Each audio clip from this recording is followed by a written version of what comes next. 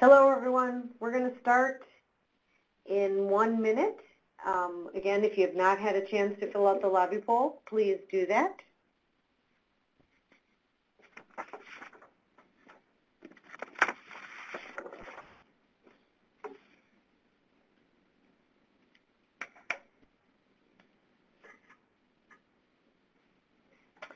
Okay.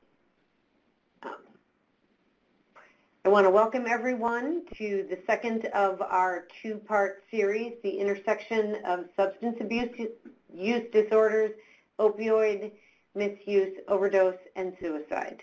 Um, we will have um, several speakers today, so um, we're happy that you're all here. Um, again, this is our, this is part two.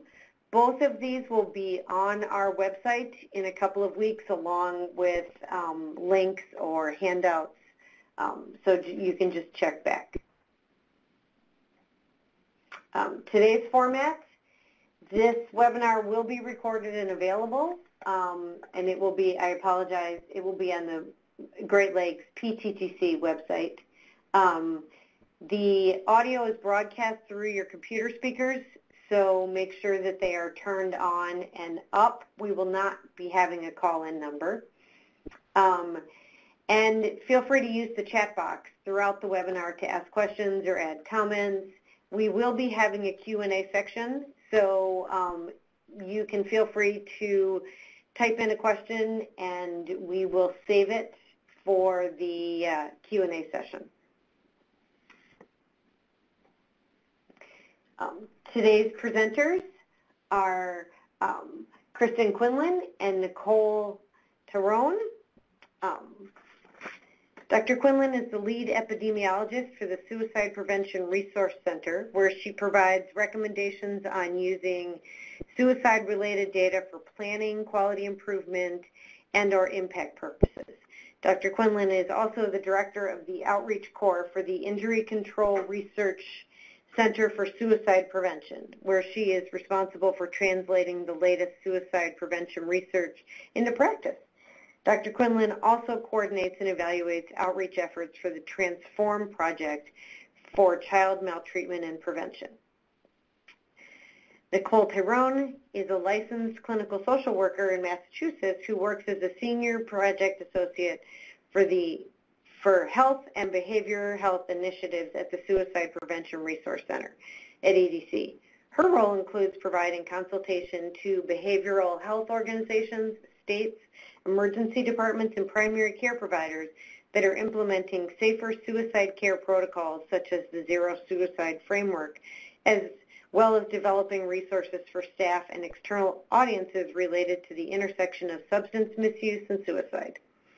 Additionally, she's worked on suicide risk assessment curriculum to train clinicians who work in substance use disorder treatment settings, virtual trainings on suicide risk assessment, and motivating individuals to engage with treatment, and led virtual events and presentations on the overlaps between opioid misuse and suicide risk. Prior to working at the SPRC, Nicole has worked in crisis intervention, substance use disorder treatment, and jail diversion programs. As a jail diversion clinician, Nicole led a community-based opioid task force that included representation from public safety, schools, peer specialists, and healthcare organizations. We are excited to have both of them on our webinar today. Um, the objectives for our webinar this morning are to describe the unique relationship between opioid misuse, opioid use disorder, and suicide. We are going to identify key characteristics, including risk factors for subpopulations that are most affected by this issue, including those affected by chronic pain. And we are going to define action steps health systems and communities and individuals can take to support people at risk for opioid misuse, opioid use disorder, and suicide. So with all of that being said, I am going to turn it over to Nicole. Great. Thank you so much, Anne, for that introduction and um, for welcoming us today. Um, I really appreciate that. So what I'd like to see now is um, whether there's any other questions you folks in the audience would like to see answered today. Um, knowing what Anne just presented in terms of objectives, I'm inviting you to share with us in the chat box here anything that's on your mind or anything that you were hoping to um, hear about today in this webinar. Um, so while you're typing those in, um, just want to remind you, as Anne said, we'll pull um, any questions that you submit together for our Q&A section at the end of the webinar. And so, um, you know, we'll make sure to address those questions then. So I see a few people are typing. Um, you know, I think what we'll do is we'll keep moving along just to make sure we're um, getting into all of the great content that we have today, and um, we will be sure to address some of your questions and reflections here in the chat as we move along today. Um, so at this point, um, I'm going to dive in and get started, turn it over to my colleague, Dr. Kristen Quinlan, to share with us some details around the overlap of suicide and opioids, and then I'll check back in with you after this section to get some of your reflections in the chat. Great. Thank you, Nicole, and hello, everyone. Um, so I was just checking out the chat um, while Nicole was talking. It looks like um, some folks are hoping for some summaries um, on the uh, information that was presented last time. Um, again, the uh, information uh, from that webinar will be presented um, on the PTTC website, website so you'll be able to access it there. also, I'll be doing some summaries as you go along. Some of the information will look uh, familiar, and then we'll kind of expand on it. So, you know, hopefully if you didn't get a chance to attend or listen to the last webinar, you'll be be able to kind of catch up this time um, because I'll kind of scatter in some summaries throughout as well. Um, so what we're going to be talking about today is the complex relationship uh, between suicide and opioid misuse and overdose. Um, we started to introduce it in part one, and, and here's where we're really going to dig in. Um, so as I mentioned uh, when I did part one, I am kind of an epidemiologist, sort of researcher, kind of numbers girl. Um, so there will be some parts of the presentation that are a little bit number heavy, um, but I am going to be moving quickly to application um, because this is really my passion as well. I know that the, that's what you folks are here to listen to is, you know, really understanding, you know, what these numbers mean uh, for you folks on the ground um, as you're doing your prevention efforts, um, and that's where I want to move to pretty quickly as well. Um, but I do think those numbers are important because they really help uh, make the case for prevention. Um, they really help us to kind of direct our prevention efforts um, and really understand where those uh, shared risk and protective factors lie. Also, as we move through the numbers, I want to just, you know, again, take a moment to, to really be cognizant of what those numbers represent. I know that, you know, for every opioid death, every suicide, um, there's a family and an individual and a community that are impacted. Um, and I want to, you know, just make make certain that you know folks know as we kind of move through these and as we present those numbers uh, that we're really cognizant of that, you know, of that relationship. Um, so what we're going to be doing first is just digging into some of the numbers on opioid abuse. Um, as we see on this slide, we have 11.8 million people over the age of 12 um, who abused opioids um, in, in 2016 in, in a single year. Um, if we look at the big giant green circle, we see that most people who are abusing opioids are abusing prescription opioids about 97% of all people who abuse opioids are abusing prescription opioids. And these are the, the opioids that you find in, in medicine cabinets really across the country. Um, it's not usually heroin that folks are using. It's not usually heroin plus prescription drugs. It's really, you know, um, a lot of a lot of focus on those prescription opioids. And what this does is kind of prevent, um, point us to some prevention opportunities. So if most of the opioid abuse is happening with prescription drugs, we have this really, um, I think, good space to start to think about how we can control it uh, through prescriber education, through media campaigns on safe storage, through safe opioid disposal strategies. At the same time, I want to recognize that um, substance abuse prevention, and, and, those of you in the field are going to be very, very aware of this. It's, it's almost like a game of whack-a-mole. You know, sort of as you control one area, it kind of pops up in, in other areas, and, and that, that seems to happen. So, you know, there's a there's a concern that if we make prescription opioids harder to obtain, we might see an increase in heroin and non-prescription opioids like fentanyl and, and that sort of thing. Um, and this sort of whack-a-mole problem kind of points to the fact that our prevention strategies can be targeted, but they also need to be really comprehensive.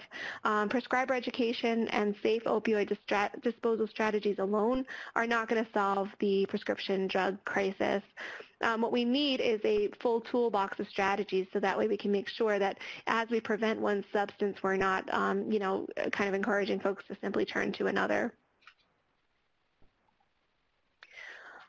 All right, and here's where we start to explore the link between prescription uh, pain medicine, um, depression, and suicide.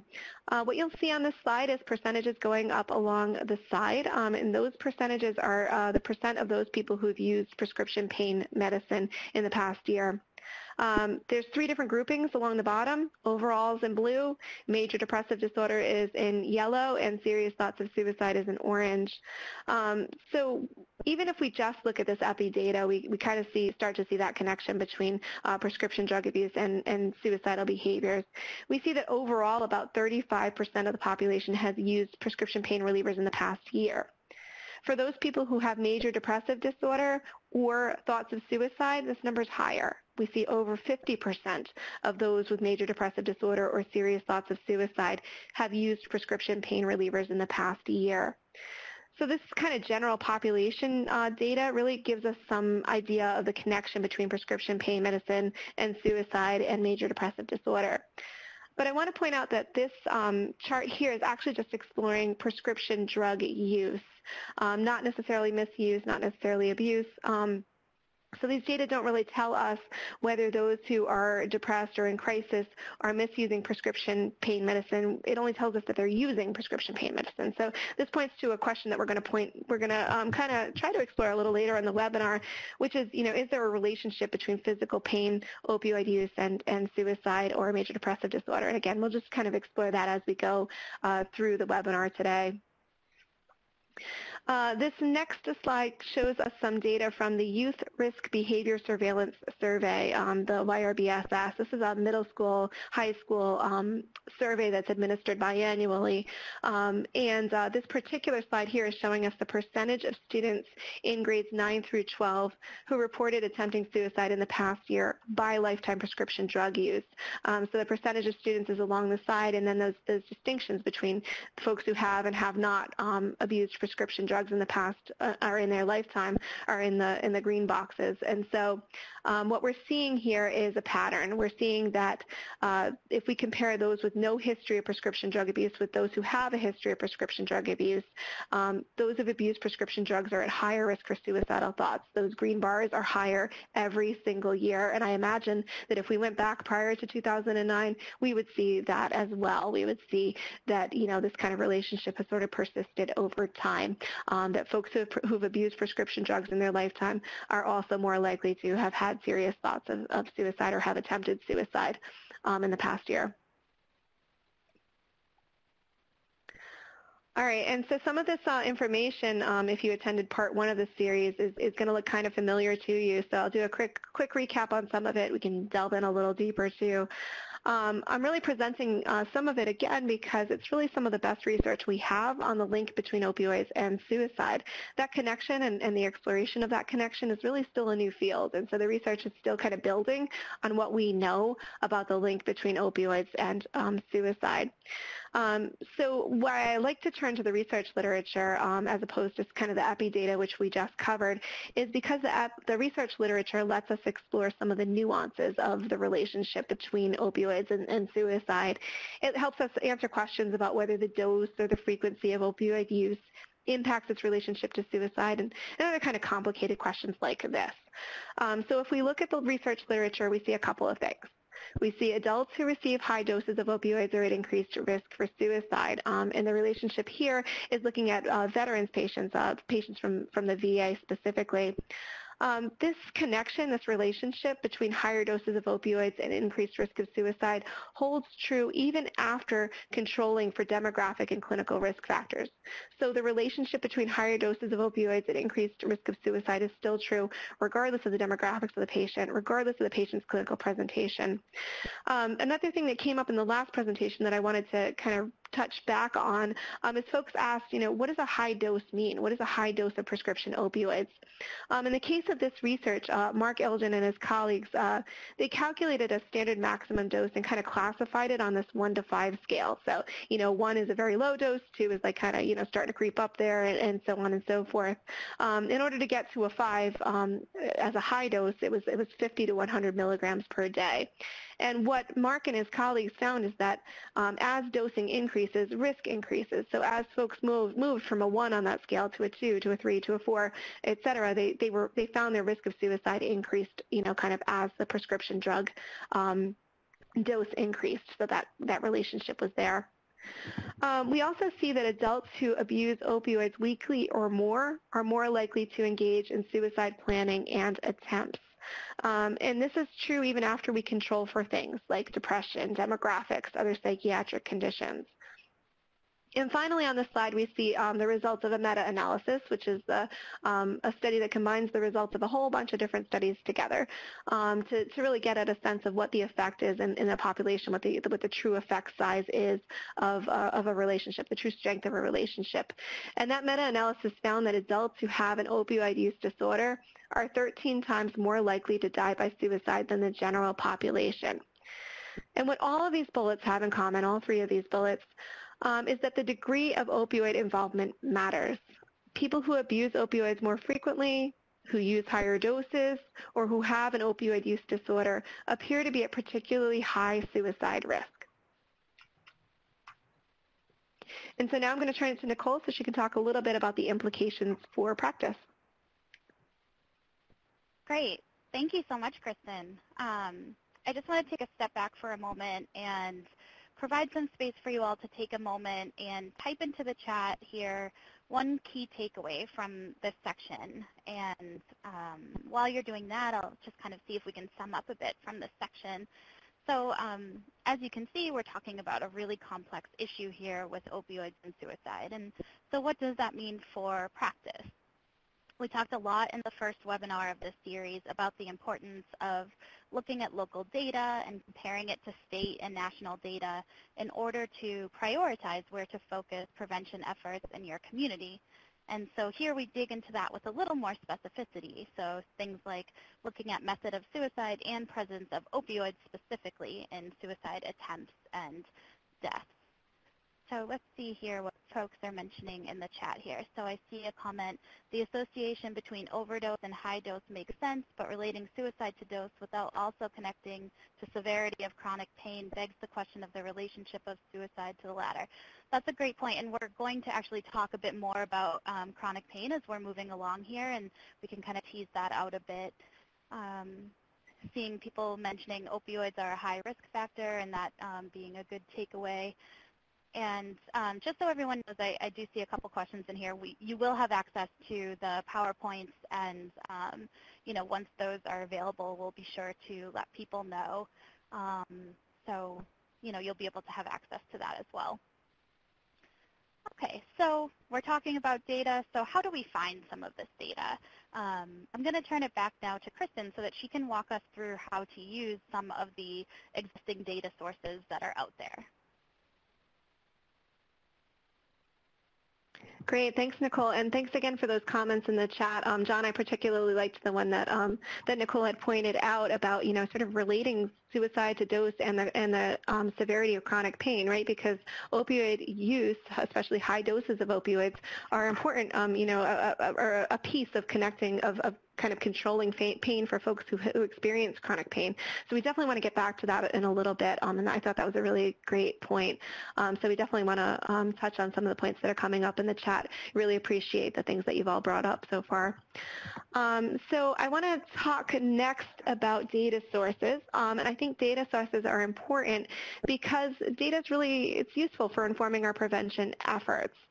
Um, I'm going to breeze over this slide here only because it's kind of an at-a-glance uh, vision of you know the kinds of data that you can get from different national data sources. Um, and I'll be breezing over this in favor of really like kind of picking these out and showing you the kinds of data that you can get from each of these sources because uh, I think that that might be a little more a little more useful. But um, this at-a-glance chart is kind of useful just to show the fact that you know each data source has information on opioid abuse, um, suicide, and suicide attempts in, in some combination. Um, and so they, they all have their utility um, and they, they all have a, a, space, I think, for really recognizing that connection between suicide and, and opioids. Um, and we'll get into that in a little bit more in just a second. Um, I'm going to start with the first one on that list, which is the um, WISQARS. Uh, it's the Web-Based Injury Statistics Query and Reporting System, which is a mouthful. That's why we call it Whiskers. Um, it's a CDC's uh, interactive online system. Um, and what it does is it allows the user to manipulate the information that they want to see on fatal um, and non-fatal injuries um, so that way they can kind of, you know, drill down a little bit and understand more about, you know, where the problem lies. Um, so what we've done here is we've really really taken a screenshot on, on uh, fatal injury data. Um, and this fatal injury data draws on death certificate data that comes in uh, throughout the nation. Um, what we see here, and I'm going to use, I'm hopefully going to use this little green arrow. Um, good. Uh, so what we see here is um, when we go to that interactive website, what I've clicked on is uh, deaths by suicide specifically. So I sorted um, for deaths by suicide. And what the system does then is spit back um, to you the number of um, folks who've died by suicide. So we see about 47,000 uh, folks have died by suicide in 2017. Um, and we also see an age-adjusted uh, rate. It will also kind of give that back to you. Um, so we see 14 per 100,000 uh, folks have died by suicide in the last year. Um, Nicole has put the uh, WISQARS um, website um, in the chat box um, so you can kind of see for yourself this interactive system that you can use uh, to draw data on um, deaths by suicide and other types of injury. Um, the other thing I've done here on this screenshot is I sorted by a mechanism of death, and so that gives us the ability to um, to sort by, uh, you know, different mechanisms. So we can see the percentage of suicides that were firearm related or suffocation related, or specifically where I want to draw your attention is, you know, drug poisoning and non-drug poisoning. So these kind of poisoning um, areas, which is where we'd find our, our opioids and, and those kinds of connections. Um, and so, you know, that's another thing that's useful with the Whiskers uh, website is it really allows you to, to start to explore uh, the relationship between drug poisoning um, and suicide using epidemiological data. Um, what we also have is the National Violent Death Reporting System. This is uh, called NVDRS. Um, it's also available through the same Whiskers uh, website. Um, Nicole has also put the uh, more specific link uh, up there on in the chat, so you can you can explore that when you get a chance. Um, what it does is it provides details on the circumstances surrounding uh, deaths. So it collects information from death certificate data, but also from medical examiner records, police records, coroner reports, um, those kinds of things to really create a comprehensive picture of the circumstances surrounding a death um, by suicide. Um, not all states are up and running with the NVDRS system yet, um, but they're all funded, um, so they're all getting there. Um, and so in a couple of years, we anticipate having some, some really good uh, representative data um, from NVDRS. Right now, it's a little more spotty. Um, some states are better than others about, you know, recording here. some states, uh, their recording systems are a little more complete than others. and so we're hoping that, you know, as we continue to sort of refine this system, we'll have a better understanding of the circumstances surrounding deaths by, you know, opioids and, um, and suicide. Um, so what we have here in this blue box is a whole series of circumstances uh, surrounding um, the deaths of, of, folks who have died by suicide. Um, and part of this is, and it's super small, so my apologies, um, alcohol dependence um, is, is one of the circumstances uh, surrounding suicide. Um, we've also got uh, substance abuse problems on there. Again, this just shows us that national data sources can look jointly at suicide and opioid abuse and overdose. And so, you know, there are spaces in these national data sets to, to really start to do that. Um, so those are um, the, the two that I just covered, Whiskers um, and the NVDRS, um, are drawing on death data, um, but we also have nationally representative surveys that give us some information about attempt data um, and also about substance misuse that's going on from year to year. some of the best sources for that would be uh, the NSDUH, um, the National Survey of Drug Use and Health. Um, it's a publicly available data set. It offers information on opioid misuse and suicide ideation um, for adults with some uh, limited use data. It's not as, not as comprehensive uh, with the use data as it is for the adult system. Um, so the NSDUH is, is, useful for that purpose. Um, we also have the Youth Risk Behavior Surveillance System, YRBSS. It's administered biannually. It goes from uh, grades uh, 6, so, so, so, from middle school all the way through high school, um, and it asks youth about, you know, opioid misuse, suicide ideation, and suicide attempts, and so it gives us some information on, um, on youth risk behaviors. Um, both of these systems, um, the YRBS particularly, has like an online portal that will allow you to um, either download the data yourself so you can analyze it using SP, SPSS um, or some similar, uh, you know, statistical program, um, or uh, NSDUH has some pre-made tables and they've, they've analyzed the data in a variety of different ways using a variety of different crosstabs so you can look at the relationship between, you know, certain variables and other variables. It's a very comprehensive report that's available available from the NSDUH. Um, and Nicole has uh, helpfully um, put the um, links to those surveys um, in the chat as well so you can explore those um, as, we, as we move forward. Um, the other one that I wanted to cover is Essence, which is, which is the electronic uh, surveillance system for the early notification of community-based epidemics, another mouthful.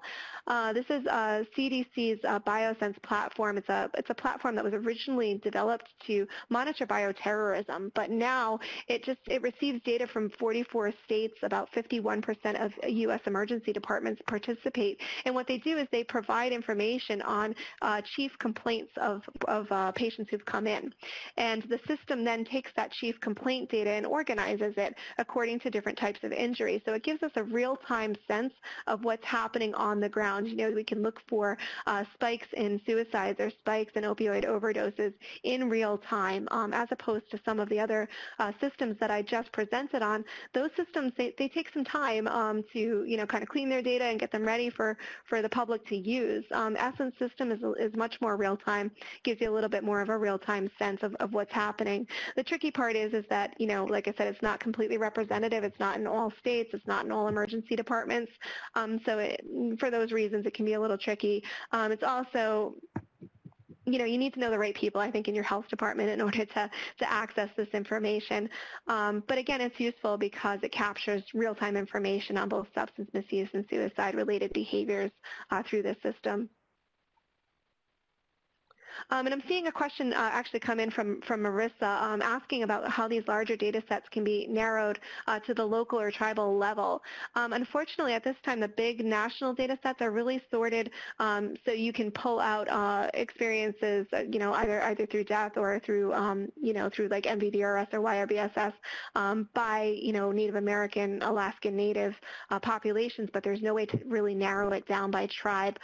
for that information, you would need to go to probably the tribe itself. Um, and it, we, spoke, we spoke last time during the last webinar about some of the challenges inherent in trying to uh, collect data on um, Native American, Alaska Native uh, tribes, um, particularly with regard to, you know, sometimes there are social factors like, um, you know, the, the term suicide might be outside of the, the real cultural lexicon of the tribe. And so they may not be recording it in a way that is similar or, you know, kind of speaks to, uh, for comparability purposes, um, you know, other populations. It, it might be hard hard to, to compare or might be hard to gather um, because, you know, um, understandably there are kind of trust issues with regard to letting that data out. Um, and so, so that can be that can be an issue as well. Um, so we would need to work with the state um, on this, um, but particularly I think you need to work with the tribe on this and you need to have a champion within that tribe who is, you know, really interested and invested in, in collecting that data and can help you kind of navigate those, you know, sort of cultural pitfalls and, and make sure that you're, you know, you're asking about this information in a way that is, you know, culturally competent and sensitive and, you know, in the way that's going to make the tribe uh, comfortable.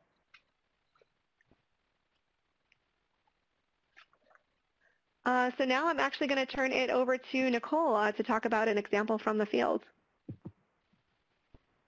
Great. Thank you so much, Kristen. And um, everyone, please keep the great questions and, and comments coming here in the chat. Um, you know, I'd love to hear from you, maybe uh, a key takeaway you have from this section or, um, you know, even better, how you might take this info and use it Um, definitely hearing some themes again around collaboration and you know making sure you're connected to the right people. Um, and we did talk a bit about some resources related to collaboration in the first webinar of the series. Um, so you know I hope if you haven't um, checked that out once the recording is available um, that you will take a look. So while people are typing here in the chat, I'm just going to share um, an example with you of how the overlap between opioids and suicide is being addressed in Kentucky. Um, so in Kentucky, in addition to having some standardized crime scene tools, they're also thinking very strategically about connecting people who overdose and end up at the emergency room with a peer support recovery specialist um, who also happens to be trained in suicide prevention specific kind of um, evidence-based programs. And you know, we know that not everyone who overdoses ends up calling 911, but I think that this example specifically highlights how um, someone can access more services and why it's so important to think strategically about what we can do and, and how we can do some of that cross collaboration. Um, you know, I mentioned in the chat earlier, it was great seeing um, in the lobby poll results earlier that so many people who have um, experience in either substance use disorder prevention or treatment have also done some cross collaboration with substance use, uh, excuse me, with suicide prevention practitioners.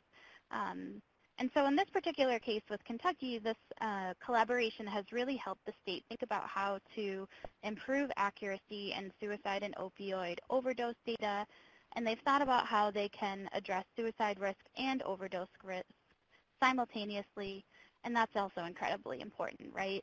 So if you have peer support recovery specialists in your emergency rooms and you're able to link them with some resources for suicide prevention, that really helps to um, collaborate and start some interventions at that community level. Um, Okay, so uh, I see people are still kind of typing in the chat, um, so you know I'll give you some time to put your reflections in, and we can go back to those maybe at the end of the next section.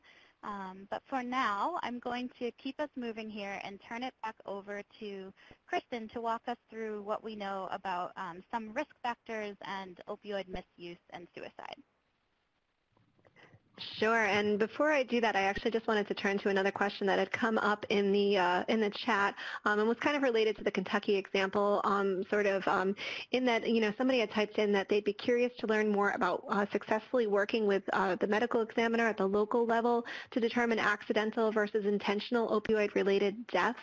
Um, and you know that's something that we covered a, a little bit in uh, part one, uh, in that you know we talked about how um, when the medical examiner or the coroner, uh, depending on what state you live in and what system you have going on, um, when they uh, code a death, they have to determine intent. And that intent question um, helps them determine if a death by uh, drug overdose is uh, accidental or if it is a suicide. And we found that there was some bias um, with regard to medical examiners and coroners and how they're classifying deaths, um, you know, with certain types of, of individuals um, being more likely to be classified as undetermined intent or as an accidental overdose um, over a suicide. We talked about how this matters because, you know, we use data for um, to inform our suicide and, and other types of prevention efforts. And if the data aren't exactly accurate, it can, you know, kind of misdirect our efforts a little bit. Or, you know, if we're trying to use them for evaluation purposes and, and they're not exactly standardized, it can be really difficult for us to determine whether or not a program or, or an intervention that we're doing is working. Um, and so I think, you know, there's a couple of really good resources out there uh, to help folks um, as they as they kind of do this dance, as they work with the medical examiner and they work with their coroner systems to really help improve the accuracy of the data that, is, that are collected. Um, the CDC um, is working actually on a, or has been working historically on a, um, support tool um, for medical examiners and coroners. Um, Deb Stone over at the CDC is, is, uh, is kind of taking on that space. Um, and she is, what they're doing is trying to figure out if there's a way to really help medical examiners and coroners, you know, really classify a, a death more accurately um, when they're on the when they're on the ground there, because it can be it can be hard. Um, it can be particularly hard for I think coroner systems where um, they may may or may not be medically trained, um, and there is not usually or, or you know sometimes there's not a requirement for any kind of ongoing training. And so when something like the opioid crisis pops up, you know, the the coroner system systems are, are overtaxed and, uh, you know, and they don't have the resources or the training to really, you know, to kind of figure out um, how to how to classify deaths in these kind of nuanced ways. Um, and so, you know, it's really useful to have some tools uh, that, that can help. Um, the CDC is one of those places that, that is working on that. Um, so uh, what I want to do now is I want to turn to opioid misuse and suicide, talk a little bit about what we know about risk. Um, the last webinar we talked a little bit about shared risk and protective factors, and I want to cover those in more detail in, in this webinar. I think, you know, the more we know about risk and protective factors, the, the better we're going to be at um, coordinating our prevention efforts. And I'm, I'm really invested in this idea of coordinating um, prevention efforts because I think, you know, it's, it's really economical for a field that's that's often underfunded. Um, suicide prevention for sure is, has been historically underfunded. Uh, substance misuse prevention as well. Um, and so, you know, when we can join our, our, our, our, efforts, when we're both working, you know, when both fields are working upstream to really, you know, build those protective factors that are shared uh, between those two public health problems, I think that that's a big bonus. Um, and it's also impactful. Uh, we know that coordinated public health efforts work. Um, we've seen them work in other fields, and, and I really believe, and, and we have evidence to show, that it can work here too, um, that if we combine the uh, efforts of opioid misuse prevention and suicide prevention together, uh, we, can, we, can make some, we can make some impact. So uh, I want to talk a little bit about that. All right, so what I'm going to do next is I'm going to talk about two different things. I'm going to talk about the risk factors for opioid abuse, um, and then I'm going to talk about the risk factors um, for suicide. And then what we'll do is just explore the um, overlap between the two of them so we can really get at those shared risk factors in, in, some detail. So I want to turn first to the factors that increase the risk of opioid abuse. Um, and the, what you see here on the screen is, is not a complete list. It's a sampling of some of the known risk factors for opioid abuse and overdose. So it's not, you know, not an exhaustive list uh, by any stretch. Um, I want to highlight a couple of them, um, starting with physical health problems and pain. Uh, pain patients may be at higher risk for opioid abuse and dependence, and this is particularly true if there's a history of trauma or a prior history of substance abuse. So pain patients with a trauma history or with a substance abuse history are at even higher risk of opioid abuse. Um, I also want to pull out uh, social isolation as a risk factor. Um, rural environments, which we often think of as a proxy for social isolation, have been associated with prescription opioid misuse, uh, particularly for white adolescents living in these kind of rural areas. I also want to flag trauma as a risk factor. Uh, trauma, if we think about you know, child abuse, neglect, um, that's been directly associated with the risk of prescription opioid misuse. Um, and most of the data that's been done has really looked at adverse childhood experiences in youth, kind of followed them over time, and you see that you know it, it increases their risk for opioid abuse uh, later on in early adulthood.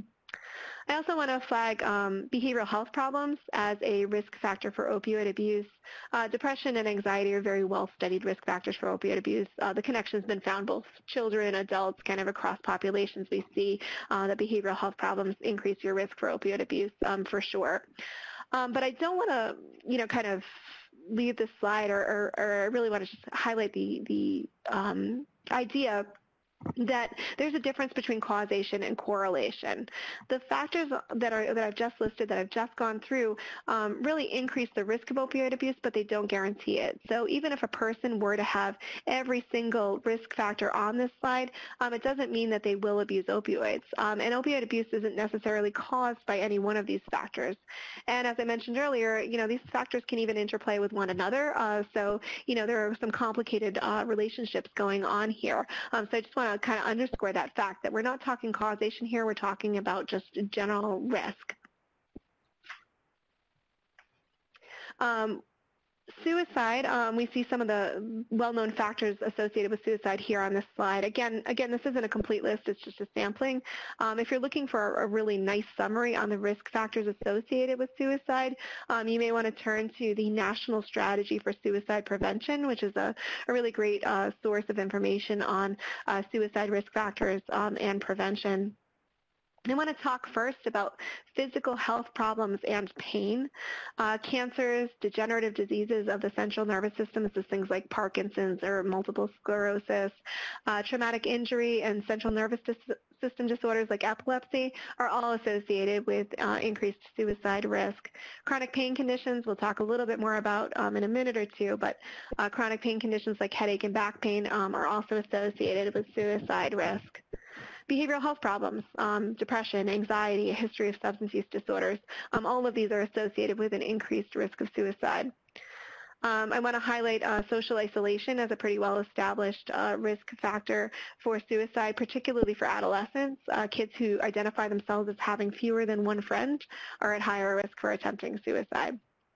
I want to turn to trauma, um, both in terms of adverse childhood experiences, but also in terms of historical trauma. So um, adverse childhood experiences are associated um, with an increased risk for suicide attempts, um, but uh, historical trauma seems to be associated with future suicide risk as well. So Native American, Alaska Native populations, uh, we see, and, and we saw actually in the last webinar, um, a, a, chart on um, showing that, that, those folks are at higher risk for suicide, um, and, and, historical trauma may play a role there. We've seen some convincing research that, that kind of leads us to, to believe that, that that's, an, that's an area.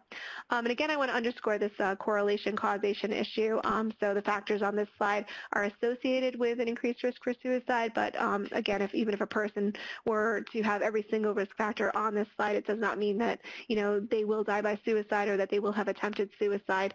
These are associations. They have complex relationships with suicide, and they have complex relationships with one another.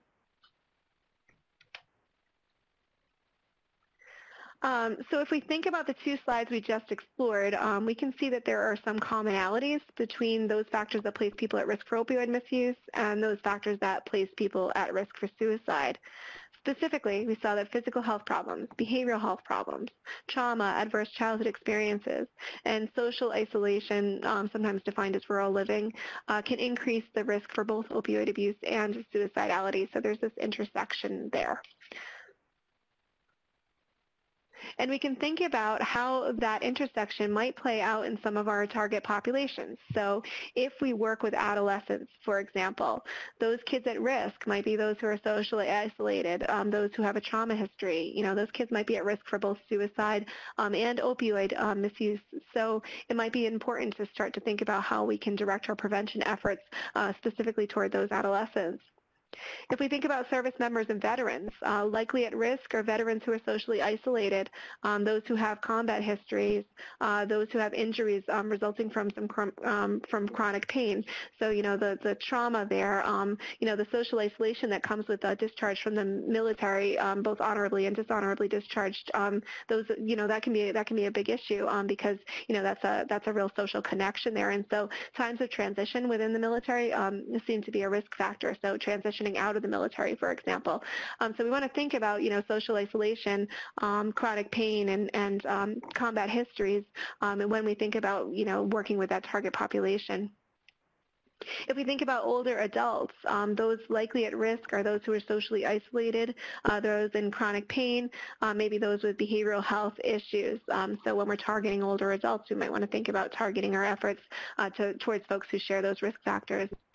Um, the men in the middle years are, are also a very important population to, uh, to start to think about um, men in the middle years being at risk for both opioid abuse, um, overdose, and um, suicide. Um, again, those at risk are, are, likely those who have depression or anxiety, um, those in chronic pain, uh, those who've experienced social isolation. So men who are maybe going through some transitions like, say, unemployment, um, recently unemployed, or recently divorced, things that lead to social isolation. these men may be at risk, and so we may want to think about targeting our prevention efforts accordingly.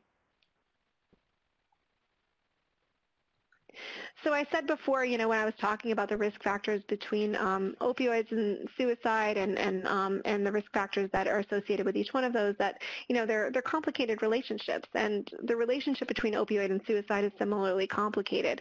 Um, it's really challenging to to really understand, you know, what exactly is is kind of contributing to this link. Um, it could be that higher doses of opioids offer increased access to lethal means. So maybe people who use opioids are more likely to die by suicide because they have access to some kind of method of suicide. Maybe opioids have a disinhibiting effect. So maybe because of these, there's some increased likelihood that people, people will act on their suicidal impulses. Maybe there's some characteristic like pain or depression that's associated with both suicide and opioid abuse. I think any of these um, hypotheses or even some combination of these hypotheses is entirely possible. But the take-home point here is that the relationship between opioid abuse and suicide is complicated, and the real why and how mechanisms that explain that relationship are not well understood. I said earlier that this uh, field is, is fairly new, that, that you know understanding that relationship between opioid and suicide um, is new, um, and so there's not not a ton of research really explaining this sort of causality. You know, what's what's happening here? How is how are these two linked? Um, and we're still learning a lot about it.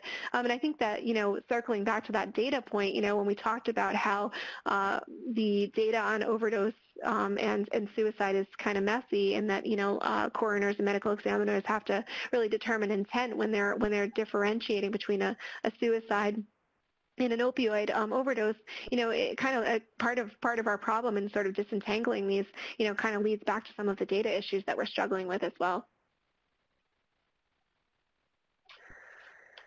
So when it comes to preventing opioid abuse and suicide, we have a bunch of good options, um, and the three really three really good options are here on this slide. Um, we could address shared risk factors. So we talked about what some of those are: social isolation, uh, physical pain, uh, behavioral health problems. We could look for programs that address both of those kinds of shared risk factors. We could also focus on populations at increased risk. Um, so we know, for example, that the veterans are at increased risk um, of opioid abuse and suicide. Maybe we focus our prevention efforts there. Or maybe we select strategies that address both outcomes. So there are some, out, um, some strategies that are um, out there in the literature that have proven uh, positive effects on both um, opioid misuse and on suicide. And so, you know, that's another place that we could start to think about directing our prevention efforts. Uh, here are some examples, I think. Hold on, I think that's going to pop up in animation. Yes. Great. Um, so, you know, if we think about addressing shared risk and protective factors, um, there are home visiting programs that can reduce the impact of trauma and adverse childhood experiences. And we mentioned earlier that ACEs, or adverse childhood experiences, are associated with both suicide and opioid abuse. So, you know, doing some kind of program that addresses those kinds of risk factors uh, could be really helpful. Um, if we want to focus on populations at increased risk, the Veterans Administration um, has uh, released a stratification tool for opioid risk mit mitigation. It's, it's, called the STORM, and it assesses risk among patients with higher rates of chronic pain, mental health, and substance use disorder. And so, because it's sort of um, collectively uh, assessing risk of, you know, kind of all three of these public health problems, um, we're able to kind of direct our prevention efforts, you know, to, to folks um, depending on their level of risk for, for each of these. Um, or, you know, there's the option to address, to select strategies that address both outcomes, suicide and opioid uh, abuse. Um, I think specifically about uh, the good behavior game in elementary school, which is a real uh, prevention uh, opportunity, very upstream uh, work that's being done that has shown some positive effects um, in both fields. Um, there's the coping and support training, which is the CAST. It's more of an indicated uh, population type tool. Um, it's a um, you know, it's a it's a meeting. It's a um, um, like a high school intervention where folks kind of meet with uh, kids at risk um, and help them with their coping skills and those kinds of upstream uh, prevention efforts. Um, there's also the zero suicide model um, to identify and, and, treat those at risk. Um, it's been applied mostly in, in uh, the suicide realm. Um, it's about connecting folks after they're released from the hospital for a suicide attempt, um, you know, with uh, uh, connections, with, you know, in community connections. Um, but it's starting to be applied in, in overdose prevention as well. So, you know, folks who have been seen in a hospital for an overdose, for example, are starting to kind of have better connections with their community providers uh, post-release. and that's been a really useful model as well. Um, so thinking about how to apply that zero suicide model uh, to opioid abuse as well uh, might be a might be a, a fruitful area uh, for reducing risk. All right, and so I think this is where I turn it to Nicole um, so she can talk about some implications for practice. Great. Thank you so much, Kristen. And um, before I talk about the implications for practice, I did just want to share um, two things I thought of when you were talking on the last slide. Um, one of which is that um, we did a webinar at the Suicide Prevention Resource Center last year um, on the topic of um, approaching substance use disorders um, in the zero suicide framework. So what does that look like in a health system um, if you're implementing zero suicide and also want to integrate that with um, identifying risk and um, treatment for substance use disorders. And so um, I definitely encourage you to, to go to the resources area of zerosuicide.com and, and check out that webinar. Um, and also in the um, first webinar of the series, we talked a bit about um, the CAST program um, that was mentioned on this last slide. Um, so the coping and support training and how that was used in a high school um, on a tribal, um, in a tribal high school. So I definitely encourage you to check that out as well. Um, we have a success story about that on the SPRC website. Okay, so um, let's hear from you again now. Um, you know, we're about halfway through the webinar here, and um, before we shift into kind of the next topic, what key takeaways did you get from this last section um, regarding overlapping risks? I'm wondering, um, did anything surprise you? Um, and what about these implications for practice here on the screen? Are any of you in a community where there's a special task force or coalition to address suicide and opioids, or um, perhaps there's existing opioid misuse groups and, and suicide prevention groups in your community that could be working together? Um, and so let's just take a look at some of the comments coming up in the chat. Um, Great, yeah. So uh, John pointing out the same elements in the zero suicide model can absolutely be applied to overdose prevention, and um, you know I definitely agree with that. And um, we'll mention a little bit more about that later on in the webinar, and definitely more in the um, the webinar we did last year that's on the Zero Suicide website. Um, and let's see. Um, okay, people sharing some resources. That's great and you know keep the, the comments coming here while you're typing. Um, I'm going to kind of move into our next example here of how this can play out into the field. Um, so the reason that we opted to highlight Connecticut here is because of some of the work that they have been doing to build an infrastructure within the state um, where they're really able to address that intersection of overdose and suicide. So over the last 10 years, Connecticut has been building up their infrastructure with both their suicide prevention grants and their substance misuse prevention grants to really integrate the substance use mis oh, sorry, substance misuse prevention, the suicide prevention, and then actually their mental health promotion efforts that are happening across the state. And so they've gone beyond just going statewide and have zoomed down into regional levels and looking at integrating the regional boards of health and substance abuse prevention councils. So um, making sure that those are integrated and working together so that there aren't separate entities doing this work and, and really looking to make sure that everyone's kind of on the same page. Um, so this has also allowed them to um, address access to lethal means, both in healthcare areas as well as within universities. So they've been working hard to reduce the stigma against access to naloxone or Narcan and using naloxone to reverse overdoses. They've also been able to spread, um, share the detrimental impact on family and loved ones when suicides are misclassified as opioid overdoses. So kind of like a, a media campaign to um, get some awareness around that. And that was something that really came up as being very important to them. So they landed in this place where um, the more people know and understand, and the more people who are at the table, the better and greater the questions are being asked. So, um, you know, this helps the state to better effectively address both the issues and their intersection. The more people you have at the table, the harder the questions are that can get asked sometimes, um, as I'm sure many of you are familiar with. And so that helps to push us to be clear on where we're going and um, what kinds of things we need to be thinking about. Um, okay, so let's just take a look here in the chat. I see people saying um, so Joanna saying there's a local prevention agency that works in community and schools doing education, as well as working closely with county coalitions, so getting involved in that county level. we're just starting a suicide prevention program in northern Minnesota. Great. Um, definitely um, seeing suicide prevention happening in schools, especially those with higher risk. And, um, you know, we shared a couple of evidence-based programs that um, are a good match for that.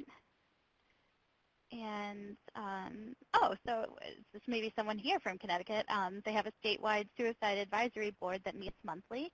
Various stakeholders involved, such as clinicians, educators, military and veteran folks, doctors, researchers, representatives from funding sources. So great. So thank you so much um, for sharing that here in the chat. I'm glad that we were able to um, have someone from Connecticut on the line to um, share some of some additional details on that.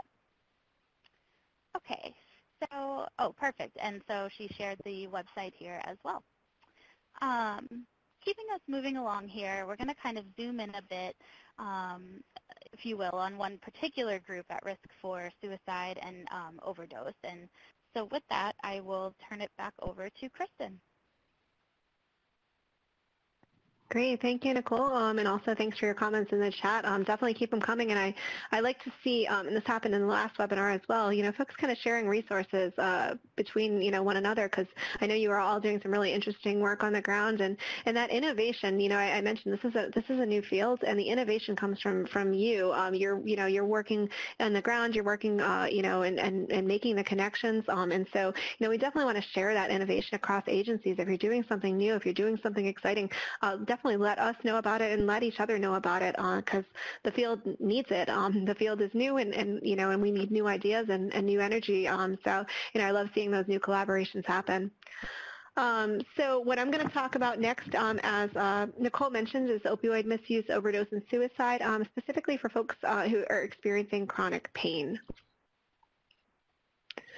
Um, so what I have here is a just a, a visual, I think, of, of chronic pain as a risk factor um, for a, a variety of, of, adverse health outcomes, including uh, mental health disorders like uh, anxiety, substance abuse, depression, um, but also as a risk factor for suicide, both by um, intentional and unintentional overdose. Um, but, you know, I guess I, my, my problem with this chart, and I probably should have should have drawn a couple of extra lines um, because you know this this chart sort of makes it look very linear, um, but the experience of chronic pain um, with the and, and, its association with these outcomes is um, you know complicated. I think that what we could have is, is a chart where you know chronic pain can be worsened by depression or anxiety. Um, we could have a suicide attempt that leads to chronic pain. We have complicated and interrelated relationships here, so it's not as linear as it sort of looks on this chart. Um, and so I kind of want to keep that in mind that, again, these connections are, are really complicated and they all kind of draw back to one another. And, and there's not really a causal relationship here necessarily. Um, there's an association, and we're still trying to tease out what the causal, what the causation direction kind of is. Um, this is a quote that just kind of um, reveals the, you know, seriousness of chronic pain. Um, I'm not living a life now. There are worse things than death. This is a patient with chronic pain um, from pain and suicide, the other side of the opioid story. Um, this uh, kind of reflects the, you know, the experience um, of 100 million Americans who are experiencing chronic pain, uh, 50 million Americans who are experiencing acute pain, an additional 10 million Americans who are experiencing cancer pain, uh, about 160 million uh, Americans experiencing some kind of, uh, of pain, um, you know, during the year. Um, and so it's really important to, to kind of understand that, you know, this is, this is an experience that is, you know, not not rare. Um, and so, you know, we want to, uh, you know, really uh, advocate for, for having, understanding the relationship between uh, chronic pain, opioid abuse, and suicide, and one that kind of understands the, the chronic pain issue. Um, so, you know, the, the idea that, you know, we simply take higher doses of opioids sort of off the market is not necessarily what we're advocating for.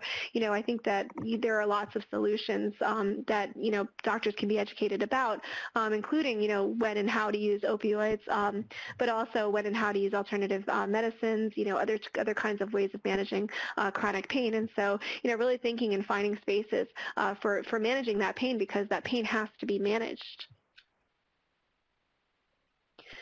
Um, so opioid, if we want to talk first, I want to talk first about opioid misuse and overdose risk in patients with chronic pain, and then I'll talk a little bit about um, suicide um, in patients with chronic pain. We know that chronic pain is associated with an increased risk of opioid abuse and overdose. Um, we've seen that, you know, kind of in, in some earlier slides and, and here as well.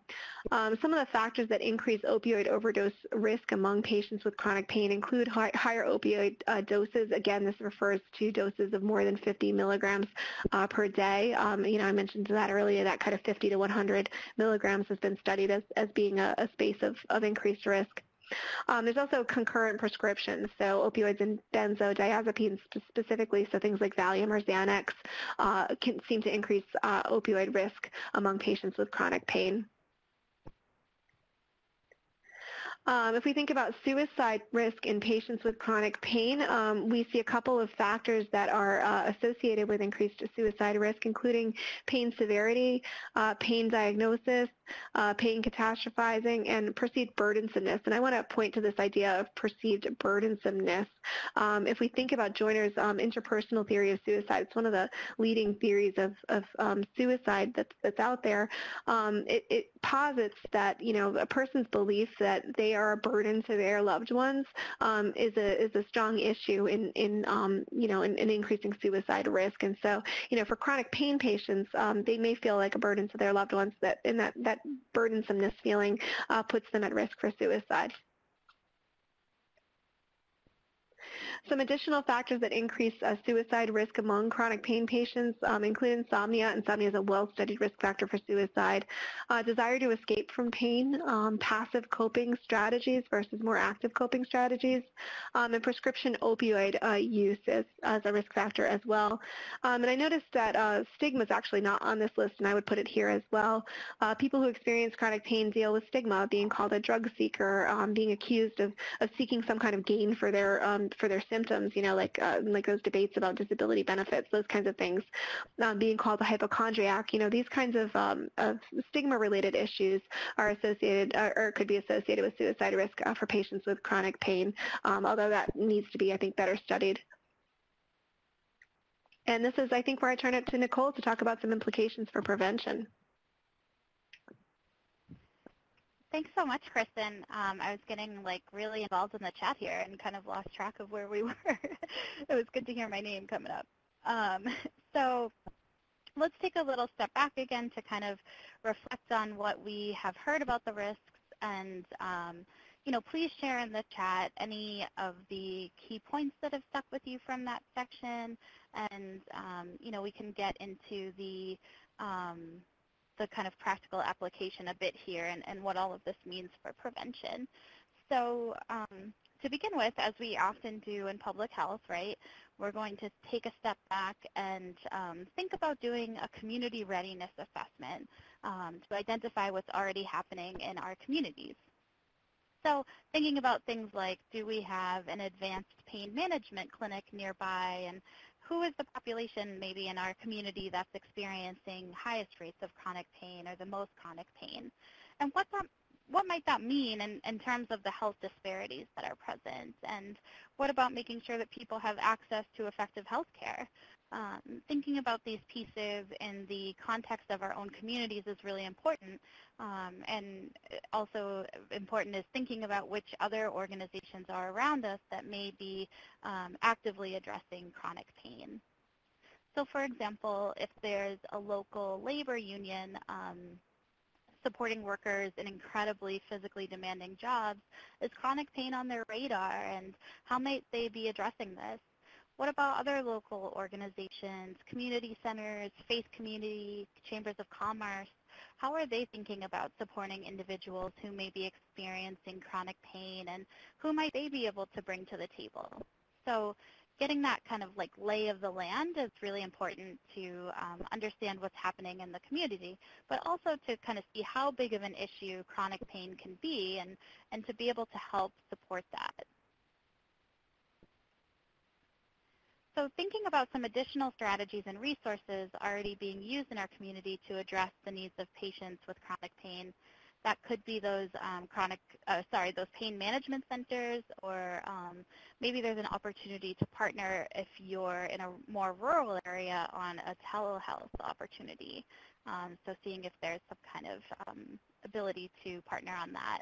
And thinking about how can our faith communities be a part of engaging more generally in prevention efforts to raise that awareness um, about non-medication strategies among those people who experience pain. So thinking very strategically and practically about what can help what that can help us do in terms of destigmatizing and creating a bit more compassion we want to be engaging in that conversation and over time and, and by talking about these issues and, and talking about the real barriers that chronic pain patients feel and experience, we have an opportunity to challenge community norms around that and some of that um, stigma that um, Kristen talked about.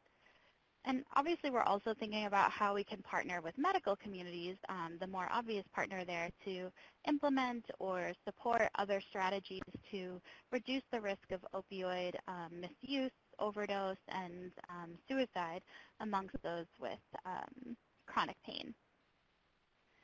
And um, I see lots of um, activity here in the chat, which is great. People talking about um, the zero suicide model for overdose prevention. This is great. Um, thank you, John, for sharing um, this information here um, and talking about how critical this um, conversation is around the risk of chronic pain.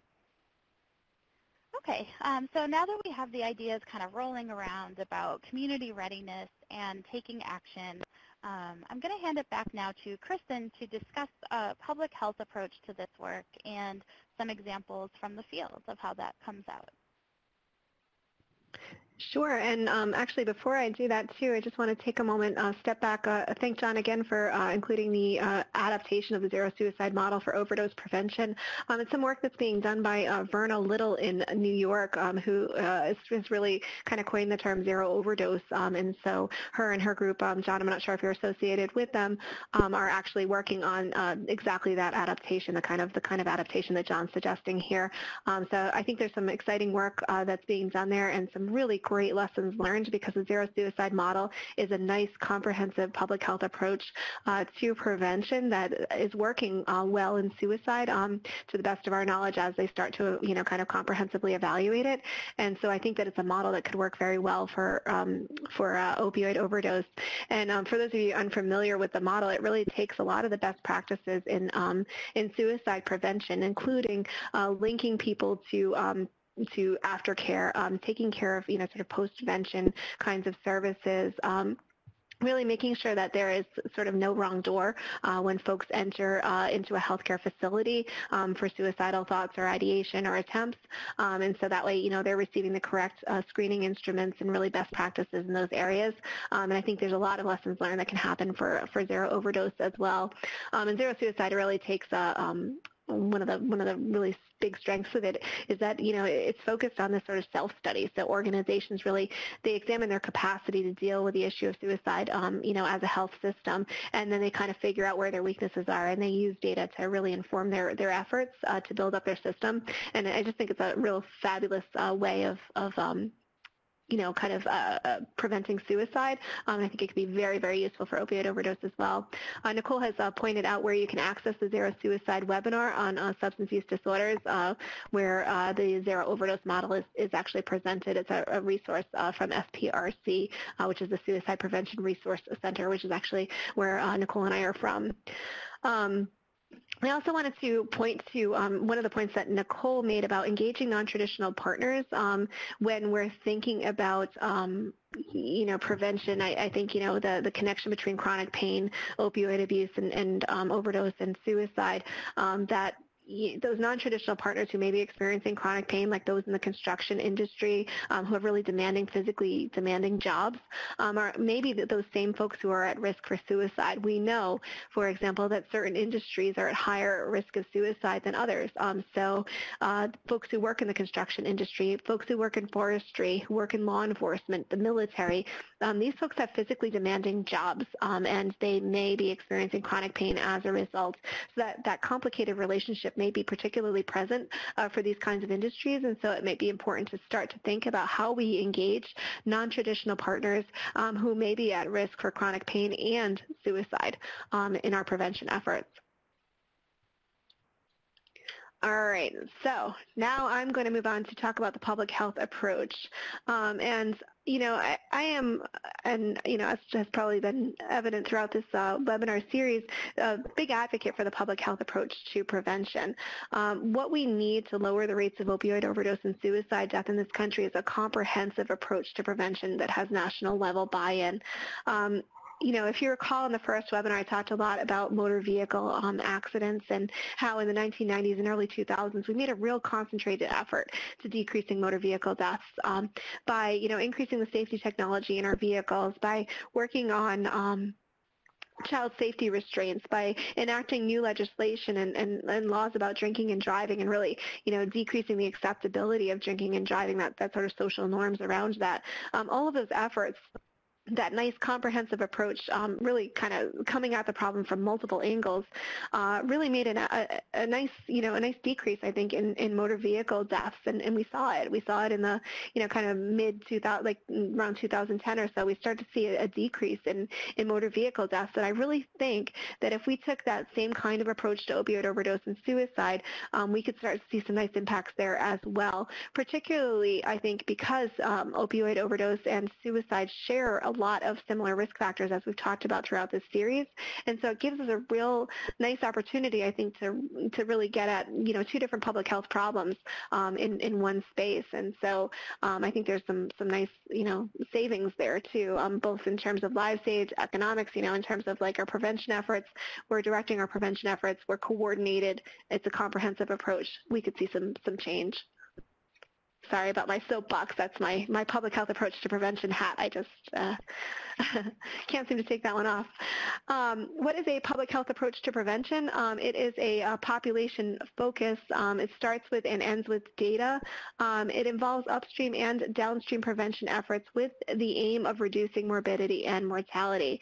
So it's a systematic um, effort. It's data informed. So it really starts with data. So, you know, we look at data to see where the problem is, what are those shared risk and protective factors, you know, um, how can we kind of start to think about, you know, kind of attacking attacking this problem? What non-traditional partners should we engage and, and, and have at the table? Um, and then there's a space where we develop and test prevention strategies. So, you know, we think about what works. We use evidence-based programming and, and interventions and strategies, uh, you know, environmental strategies to create change. Um, and we use things that work and we test them. Um, and, and so before they go widespread, we really test them. We, we evaluate them and we make sure that they're working. Um, and then and then we ensure kind of widespread adoption. We, we, we make it go, you know, sort of nationwide at that point. And so that's really the public health approach to prevention. We start with data. We identify those risk and protective factors. We use things that work, and then we adopt them more in a more widespread way. I'm going to give you some examples of, of spaces and, and places that are really taking this kind of approach to prevention. Um, the first is the Colorado National Collaborative. It's kind of tackling um, opioid overdose and suicide simultaneously. Um, its focus is mainly on suicide prevention, but um, because those shared risk and protective factors, it's, it's tackling opioid um, overdose as well. Um, it's a public health approach that has the goal of reducing suicide by 20% by 2024. Again, also tackling opioid overdose and other causes of premature mortality. Um, what they've done so far with the Colorado National Collaborative is use a public-facing dashboard that allows for a county-level analysis of who is at risk by, of death, for death by suicide. So it draws on data from um, the National Violent Death Reporting System um, that I had presented earlier.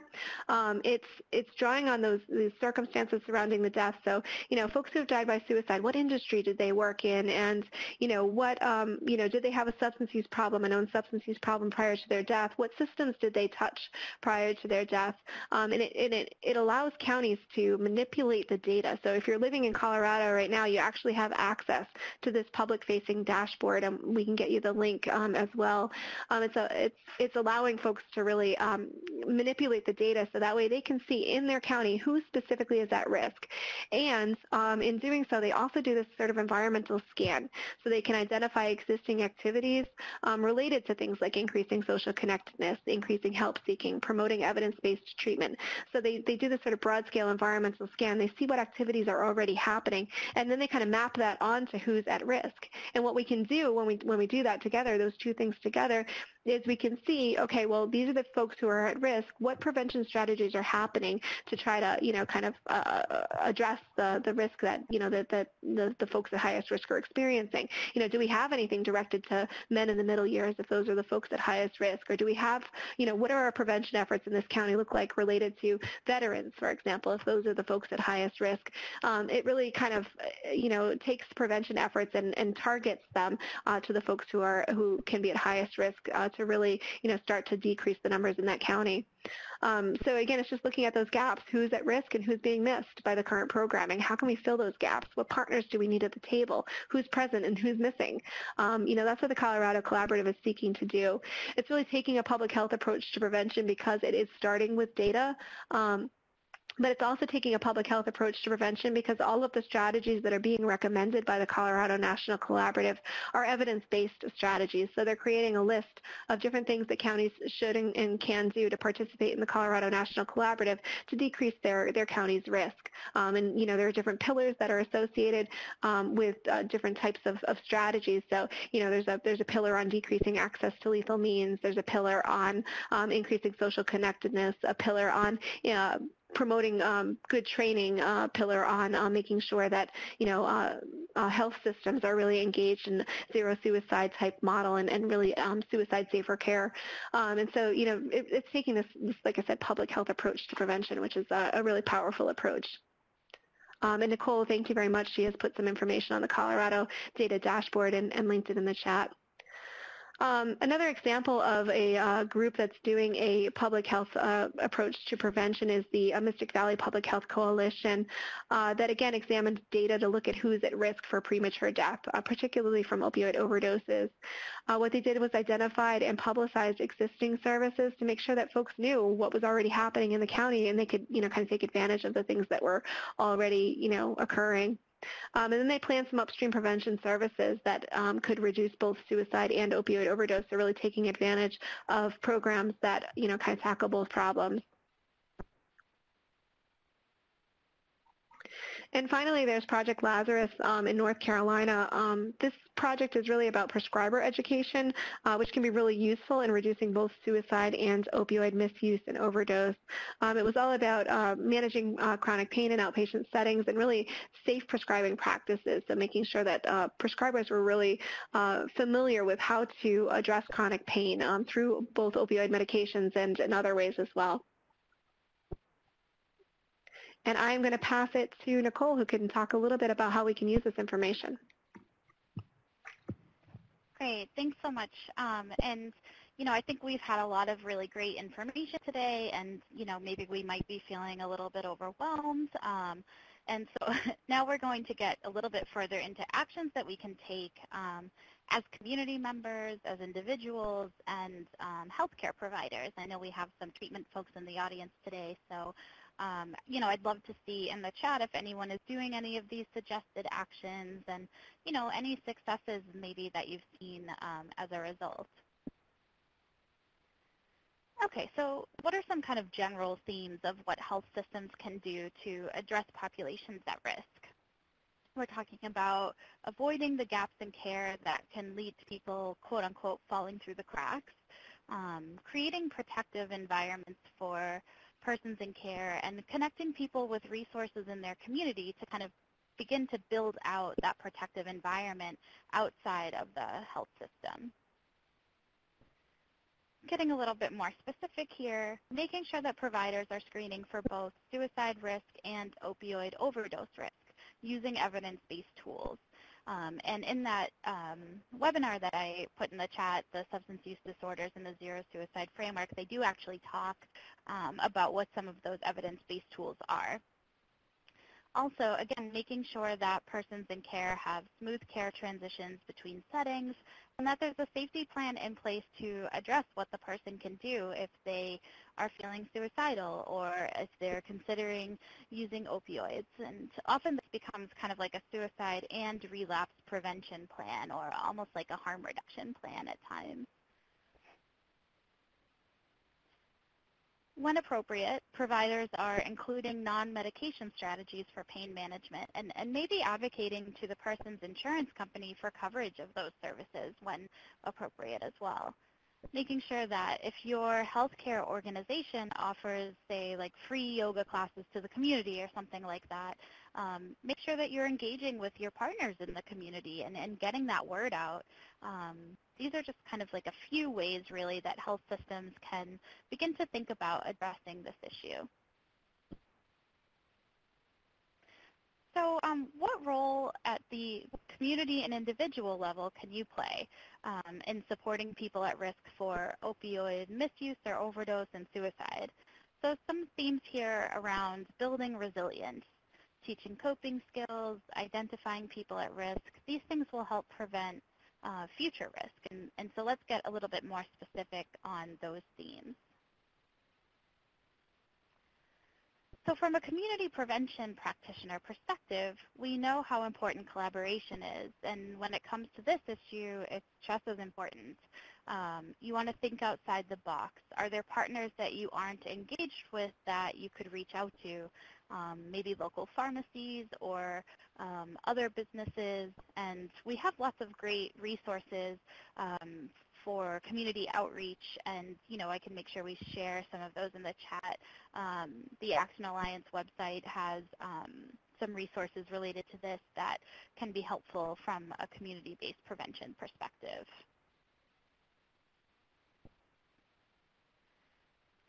And finally, these resources here are crucial to helping persons at risk for suicide get the help that they need. Um, Additionally, the Suicide Prevention Resource Center, as we discussed in our last webinar, has many resources focused on collaboration as well. Um, so it's a great place to find, um, you know, templates for letters maybe that you want to write to partners or um, ways of kind of identifying priorities across your collaboration. So um, with that, um, I believe I'm going to turn it over now to uh, either Anne or Chuck for our Q&A section. Um, so I will turn it over to you. Hi, this is Anne. We're just going to go through um, some of the questions.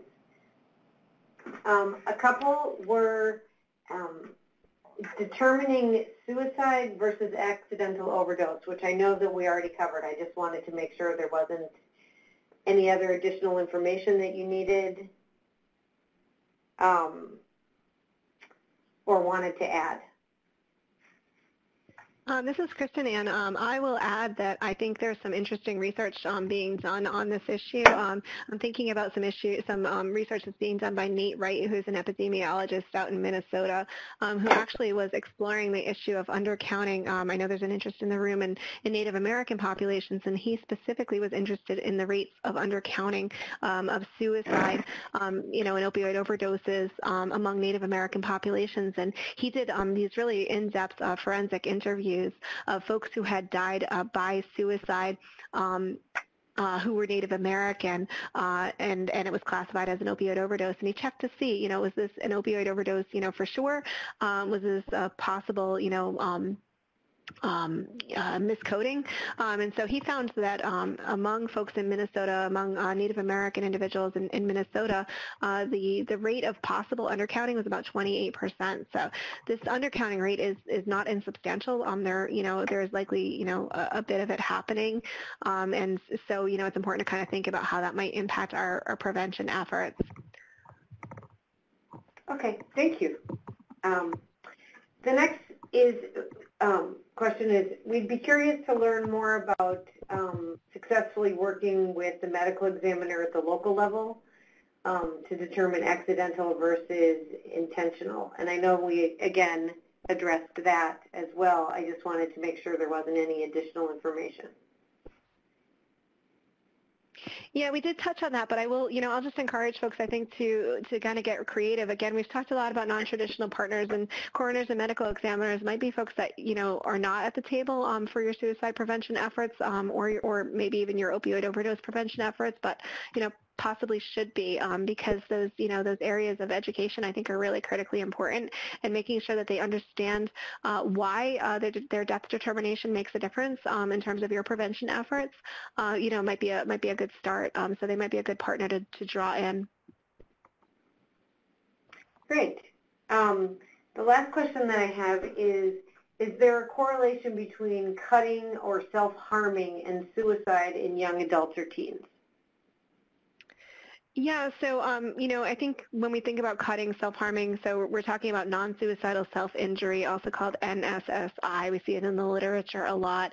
Um, I think that you know when we're talking about NSSI, um, what we have is some intention difficulties. Again, you know, sometimes you know folks who are uh, self-harming are unable to really articulate why, um, and so if it's an actual suicide attempt or versus a self-harm, um, I think that also in the in the you know hospitals, so in our data data that we get from the hospitals, um, you know, it's, it's really up to physicians um, and up to the reports of those who are, you know, seeking help uh, to, to really articulate their intentions and, and, you know, for that to be spelled out. Um, and so, again, we run into some data difficulties. Um, but we, what we do know is that there are um, shared risk factors, I think, between non-suicidal self-injury, NSSI, and and uh, suicide attempts. Um, and so it's important as we think about our prevention efforts to think about some of those shared risk factors, some of which might be, be things like social isolation um, or um, adverse childhood experiences. Uh, so, you know, I think there's a space in prevention for, you know, kind of addressing both simultaneously as we've been talking about throughout this webinar, just thinking about public health problems that have shared risk and protective factors, moving upstream and thinking about how we can, how we can address them together. Um, we do differentiate between those two in the literature the best we can, though. Great. Um, it doesn't look like we have any additional questions. Is there any uh, information or any, we will, I just want to, again, let people know that um, if you need a certificate of participation, it'll probably be two to three weeks. Um, we'll get it out to people. And um, this webinar, as well as the first webinar, in fact, all of our webinars, will be um, posted to the um, Great Lakes Prevention Technology Transfer Center website. And that takes us a couple of weeks as well.